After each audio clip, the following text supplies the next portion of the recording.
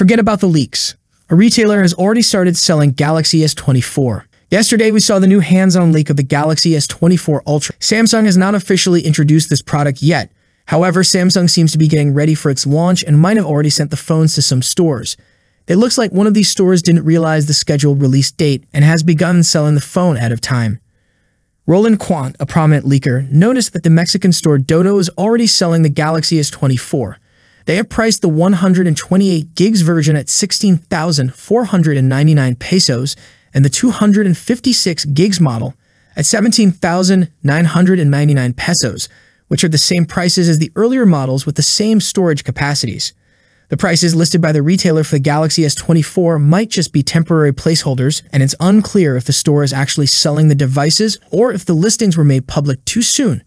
The retailer has indicated that only a few units are available, 10 units of the 128 gigs Galaxy S24 and 4 units of the 256 gigs model.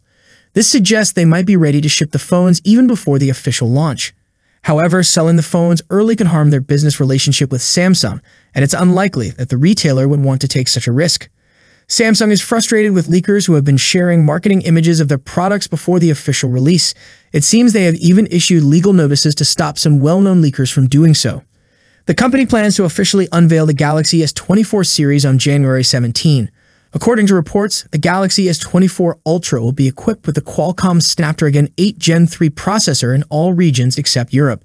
For the European market, the Galaxy S24 Plus and the standard Galaxy S24 are expected to use the Exynos 2400 chip. Also, a prolific tipster recently revealed key details of One UI 6.1 Animation's MUI.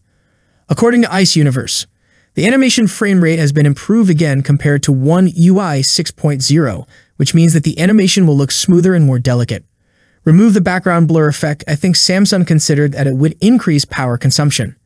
The background scaling animation is greatly improved, it becomes non-linear, and the wallpaper scales greatly, which is larger than iOS scaling, making the animation look very vivid.